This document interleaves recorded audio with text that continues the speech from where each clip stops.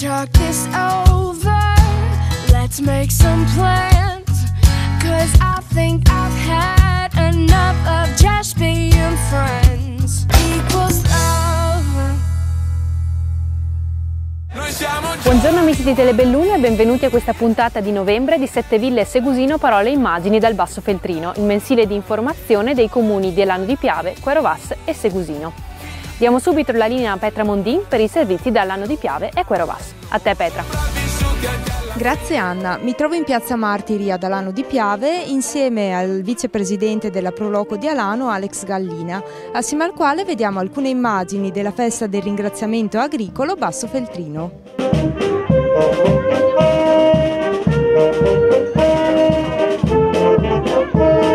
Con l'obiettivo di vivacizzare la tradizionale fiera d'autunno che nelle recenti edizioni stava portando in paese sempre meno bancarelle e conseguentemente meno pubblico, l'amministrazione comunale di Alano di Piave e la sezione Basso Feltrina della Coldiretti hanno scelto la seconda domenica di ottobre, giornata nella quale si svolge la fiera, per organizzare anche l'annuale giornata del ringraziamento agricolo. oltre 30 trattori, ci sono quelli che fanno i mestieri di un tempo, ci sono dei boscaioli che fanno delle sculture. Devo ringraziare tutti i coldiretti e in particolare due ragazzini che la settimana scorsa sono venuti, si sono impegnati, si sono prodigati a correre, a cercare tutti quelli che avevano trattori, bestiame e quant'altro. Le associazioni hanno bisogno di giovane, di gente giovane che ha la passione e la voglia per tutto il nostro territorio. Ci siamo preparati in tutta la settimana precedente nella preparazione della festa e nell'organizzazione e nel chiamare i proprietari dei trattori qui intorno. È stato un anno molto critico questo per la siccità che ha colpito quest'estate molto duramente perché non ha mai piovuto. A livello di fieno abbiamo perso un taglio quasi, invece a livello di ortaggi sono stati molto scarsi nella produzione e nella crescita. Poi abbiamo avuto anche problema nelle malghe che le cosiddette pose eh, sono- si sono asciugate, quindi le vacche non, non avevano acqua, bisognava portarne. E quella poca acqua che c'era era avvelenata diciamo, per le vacche perché era sporca, se la bevevano potevano star male Nonostante queste difficoltà che fanno parte delle normali variazioni temporali delle condizioni climatiche, gli agricoltori hanno ringraziato il Signore per la buona salute dei loro capi di bestiame e per i prodotti della terra che anche quest'anno è stato permesso loro di raccogliere. Durante la mattinata il pubblico è progressivamente aumentato, riempiendo Piazza Martiri, dove c'era la festa del ringraziamento, e via Guglielmo Marconi, dove erano disposte le bancarelle che componevano la fiera.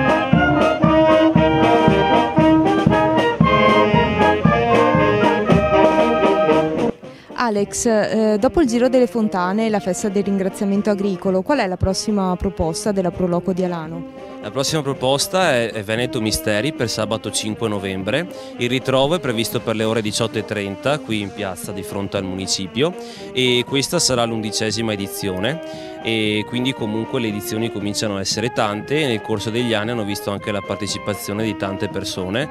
L'anno scorso sono state all'incirca 130 e quest'anno appunto è l'undicesima edizione di un progetto della Regione Veneto che ha come scopo eh, quello di eh, far sì che le varie storie, le leggende dei, dei luoghi della Regione Veneto vengano eh, mantenute nel corso del tempo e eh, va ricordato appunto come nel corso delle varie edizioni sono stati percorsi vari itinerari all'interno di, di questo comune e quest'anno il, il luogo di, di arrivo è la località Cortes. Ci sarà la possibilità di vedere uno spettacolo rivolto ai grandi ma soprattutto ai più piccoli e poi di degustare dei prodotti tipici locali di una volta. Per iscrizioni e informazioni si trovano tutte le informazioni sul volantino che è esposto nelle varie bacheche comunali e non. E dopo aver attraversato il Piave ci trasferiamo a Vas, dove fra pochi giorni si celebrerà la ricorrenza in onore di San Leonardo, patrono dell'ex comune di Vas. Ed eccoci a Vas all'interno dei locali della cartiera a fianco a questo storico torchio tipografico che è simbolo proprio della cartiera. Qui con me il presidente dell'associazione La Carta, Ivan Daltoè, associazione che ha deciso quest'anno di ripristinare la tradizionale festa di San Leonardo, patrono dell'ex comune di Vas. Perché l'associazione si è presa a carico appunto di riproporre questo evento? Ma innanzitutto la festa di San Leonardo storicamente è stata una delle feste più antiche che si tenevano nel territorio del Basso Feltrino e quindi aveva una tradizione molto importante. Noi come associazione culturale che ci proponiamo di valorizzare diciamo, il territorio, già da qualche anno ci eravamo posti l'obiettivo di riprendere diciamo, questa iniziativa di fare una festa. E quindi è nata un'edizione zero. Come sappiamo tutti, la memoria storica dei paesi sta andando un po' scomparendo e noi come associazione ci proponiamo fra le cose anche quella di mantenere e valorizzare le identità. Eh, il sito stesso che ci ospita ha un'importanza storica direi decisiva non solo nella storia della carta italiana ma anche per la memoria stessa di questo paese. E quale sarà il programma dell'evento? Eh, venerdì sera ci sarà l'inaugurazione di una mostra che è una mostra particolare perché nasce eh, in relazione ad un workshop di fotografia che si è tenuto proprio qui in cartiera un mesetto fa a cui farà seguito una porchetta, quindi piatto di porchetta con uh, ci sono i Caneva Sound che fanno musica dal vivo con un repertorio a 360 gradi che fa contenti un po' tutti, diciamo.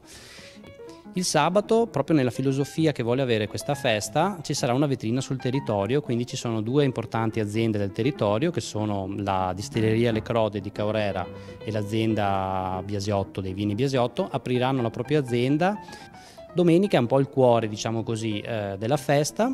Per l'occasione andremo a inaugurare una struttura sempre legata alla guerra che ospitiamo ormai da qualche anno qui in cartiera. Si tratta della Diche Alata, che era un'antica divinità diciamo, che risale ai tempi della, della, Grecia antica, che da sempre onora le vittorie in battaglia. A seguire ci sarà il pranzo, pranzo di San Leonardo, e, e all'interno di questa giornata si eh, articoleranno altre attività.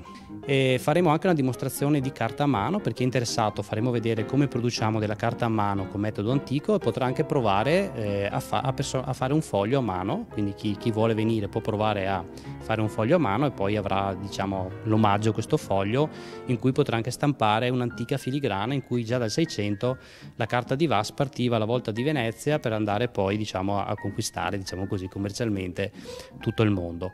E poi la festa si chiude anche con un altro momento così molto mm, tradizionale che è la castagnata con il vin nuovo, anche qui in collaborazione con gli alpini di Vas ci saranno le castagne e con il mosto del vino di quest'anno si chiude così la, la festa.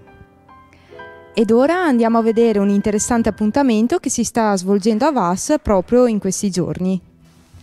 È Halloween e siamo entrati proprio nel Salone delle Streghe. Ciao, sono Strega Tea. Oggi provvedo il destino dei capelli della Sandra. Vediamo cosa riserva il futuro. Procediamo. Prevediamo capelli curati con tanto amore. E dopo questa simpatica presentazione vediamo il vero motivo per cui siamo qui. È Halloween e il Salone Semplicemente Belli di Tea sta festeggiando il suo sesto anniversario dall'apertura.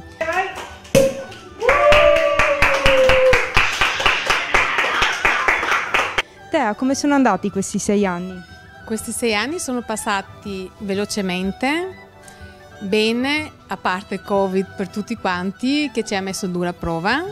Abbiamo fatto anche un po' di cambiamenti, così la gente, i clienti si sentono meglio, più soddisfatti che non ci pensano tutto questo casino.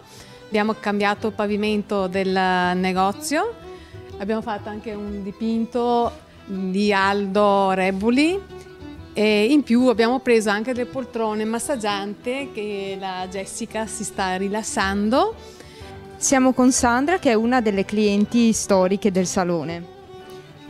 Beh, eh, mi trovo bene e devo dire che oltre una piega, eh, prima Tea cura molto la cura del capello. Valentina, come ti trovi qui con Tea? Devo dire che mi trovo bene, è un, um, un salone molto solare, molto accogliente abbiamo anche queste appunto poltrone con il massaggio e, e, molto anche comodo insomma. Penso che Jessica appunto ce lo possa confermare. È bravissima. Secondo me è la parrucchiera migliore del mondo. E anche per questa puntata dall'Unione Sette Ville è tutto restituisco la linea ad Anna. A te Anna. Grazie Petra. Ed ora vi parliamo della 117esima edizione della Fiera Franca del Rosario di Segusino e Scortivando. Vediamo!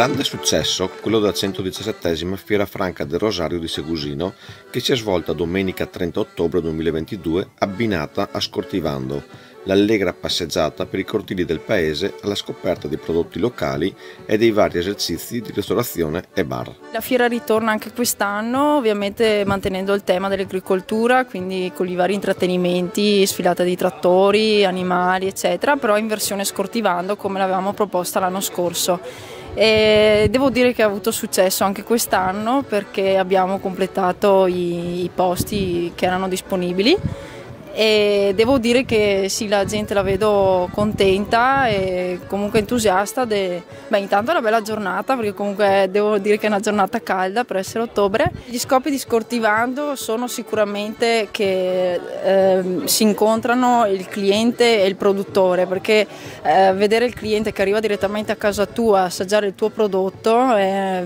sì, è, è una bella cosa, insomma è molto ti rende eh, soddisfatto insomma, del, del, tuo lavoro, vedi che ti fanno domande sul prodotto, sono interessati e poi comunque dopo averlo assaggiato eh, vogliono anche acquistare il tuo prodotto, quindi è una cosa che aiuta tutti i produttori del, del paese.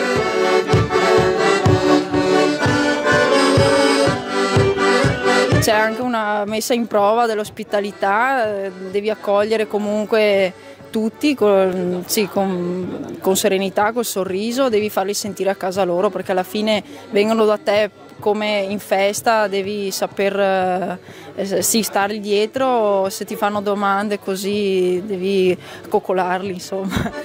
La carica degli 800 è stato definito scortivando perché oltre 800 erano le persone iscritte al tour enogastronomico sommando poi le migliaia di persone che hanno visitato il chilometro espositivo di circa 120 bancarelle del mercatino, per lo più di hobbisti ed artigianato. L'importanza sicuramente per una buona riuscita di una festa, qualsiasi festa sia, è la forza lavoro dei volontari, quelli che abbiamo in Proloco, eh, ci sono quelli che ci sono da anni, ci sono quelli che è la prima volta che provano quest'anno, c'è una ruota che gira. Io approfitto per chiedere che chi volesse entrare in Proloco, perché c'è comunque sempre bisogno, eh, chi ha più di 14 anni ha voglia di fare eh, o comunque di imparare, perché c'è da imparare, perché ci sono varie mansioni come la cucina, eh, il bar, il, sì, il servizio in tavola, cioè c'è molto da imparare. E, sì, quindi invito a tutti di venire insomma. L'immensità, chi prego porta il mio pianto fin lassù. Oltre all'evento principale del mercatino e Scortivando, ci sono stati poi altri eventi collegati come la conferenza dell'Associazione Ambientalista Ubiquam in Sala Zancaner, il tractor raduno per le vie del paese, il giro con i pony in collaborazione con la scuola di equitazione Rigai e spettacoli per bambini. La giornata è infine terminata in piazza con musica e concerti. La cosa bella, specialmente, beh sì, in tutte le edizioni ho visto una collaborazione delle varie associazioni, abbiamo anche gli alpini oggi che abbiamo fatto lo spiedo e altre associazioni quali le camminate, le corse, cioè è molto bello questa collaborazione. E spero che comunque adesso Scortivando era nato per il discorso del Covid, spero che il prossimo anno ritorneremo ma quasi sicuramente alla versione originale della fiera. E, e niente, comunque è stata comunque un'occasione per eh, imparare, cioè gestire un, una cosa nuova e, e sicuramente ci ha migliorato in, nell'organizzare insomma.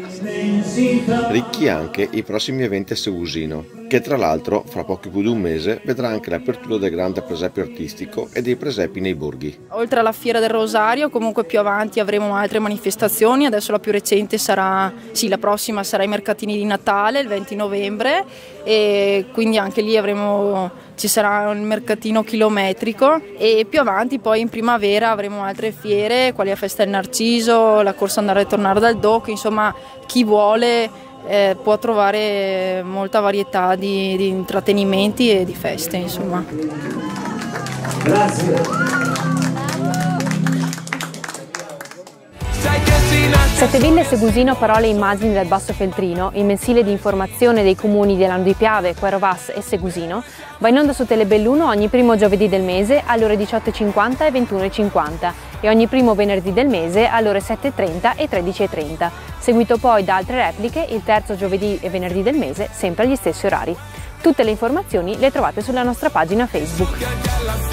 E per questa puntata di novembre è tutto, ci vediamo a dicembre. Ciao!